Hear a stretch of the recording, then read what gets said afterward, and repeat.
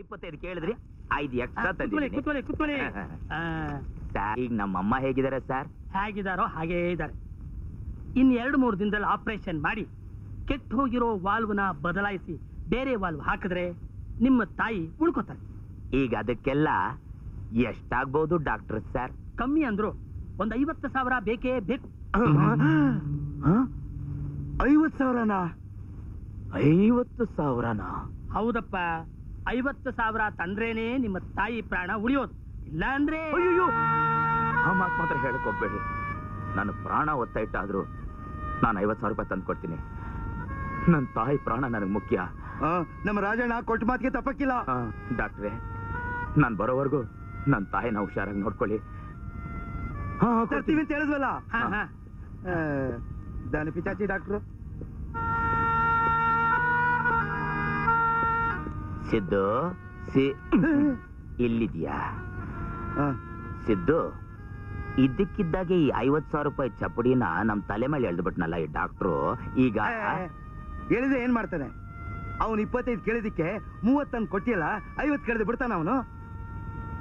ನೀನು ಬೇರೆ ಪ್ರಾಣ ಒತ್ತೆ ಇಟ್ಟು ತಂದ್ಕೊಡ್ತೀನಿ ಅಂತ ಹೇಳ್ಬಿಟ್ಟಿಲ್ಲ ಹೆಂಗ್ ತಂದು ಕೊಡ್ತೀಯಾ ಹೇಗ್ ಕೊಡೋದು? ಇದ್ದೇ ಇದ್ದಾನಲ್ಲ ಮಾರ್ವಾಡಿ.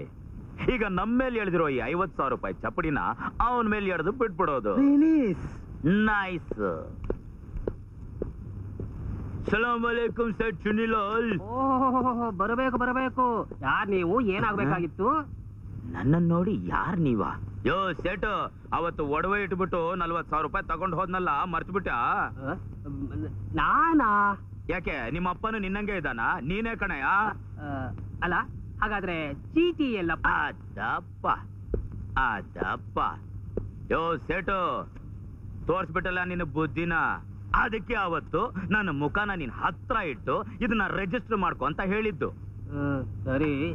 ಈಗ ಏನಾಗಬೇಕು ಸಿಂಪಲ್ ಆಗಿ ಒಂದು ಐವತ್ತು ಸಾವಿರ ರೂಪಾಯಿ ದುಡ್ಡು ಬೇಕು. ಸರ್ ಚಿನ್ನ ಒಡವೆ ಏನಾದ್ರು ಇದ್ರೆ ತೆಗಿ ಕೊಡೋಣ. ಆವತ್ತೇ ಕೊಟ್ಟುವಲ್ಲ ಅದ್ರ ಮೇಲೆ ನೀವು ಎಷ್ಟು ಬೇಕಾದ್ರೂ ತಗೊಂಡು ಹೋಗ್ಬೋದು ನಾನ್ ಕೊಡ್ತೀನಿ ಅಂತ ನೀನೇ ತಾನೇ ಹೇಳಿದ್ದು. ಯಾವಾಗ ಯಾವತ್ತು ಯಾವ ಒಡವೆ? ಯೋ ಬೆಳಗಾಗೆ ತಲೆ ತಿನ್ಬೇಡ. ಹೋಗಿ ಆಚೆಗೆ. ನನಗ್ ಬರೋ ಗುಸ್ಸಾಗೆ ಒಂದೇ ಒಂದು ಗೂಸ್ ಕೊಟ್ರೆ ನನ್ನ ಮಗಂದು ನಿನ್ ತಲೆ ತಿಜೋರಿ ಒಳಗಡೆ ತೂರ್ಕೊಂಡ್ಬಿಡ್ಬೇಕು ಏಯ್ ಏನ್ ಹೆದರ್ಸ್ತೀಯಾ?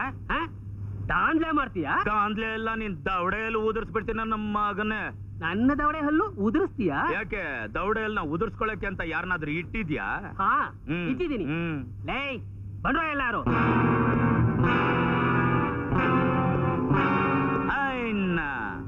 ಬನ್ರಪ್ಪ ಬನ್ನಿ. ಹ್ಮ್ ನನಗೂ ಕಸರತ್ ಮಾಡಿ ಸ್ವಲ್ಪ ಕಾಲ ಆಯ್ತು. ಸೆಟ್ ಅಲ್ಲಿ ವಿಚಾರಿಸ್ಬಿಟ್ಟು ಬಂದು ನಿನ್ಗೆ.